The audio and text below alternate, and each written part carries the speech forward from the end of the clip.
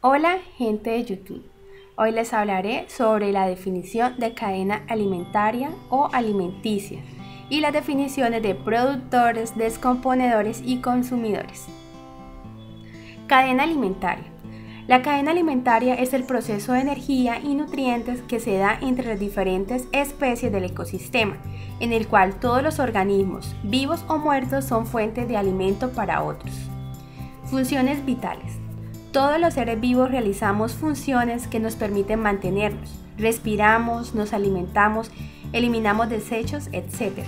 Sin embargo, el tipo de alimentación no es el mismo en todos los casos. Hay organismos que producen su propio alimento, otros consumen solo vegetales, otros solamente carne y hay quienes comen una y otra cosa.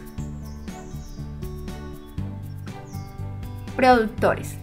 Las plantas son los únicos organismos capaces de fabricar alimento partiendo de componentes abióticos.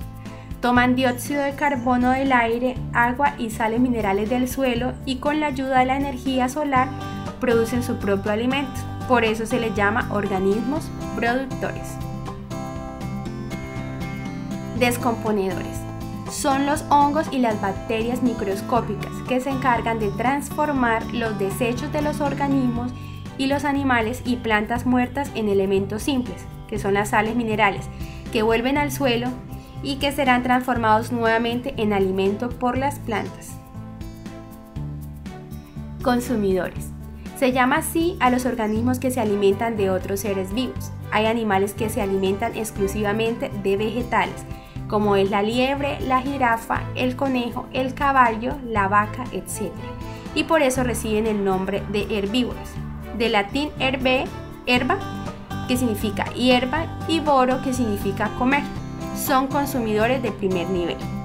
Otros animales como el zorro, el águila, el león se alimentan de carne. Se llaman carnívoros y son consumidores de segundo orden, si comen animales herbívoros. O de tercer orden, por ejemplo, la lechuza, que se come el sapo, consumidor de segundo orden.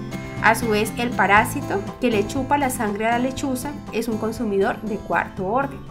Un tercer grupo de animales lo forman los omnívoros, del latín omnis, que significa todo, que comen tanto carne como vegetales. Son consumidores de primero y segundo o tercer orden a la vez. Además del hombre, son omnívoros el perro, algunos monos y algunas aves, etc.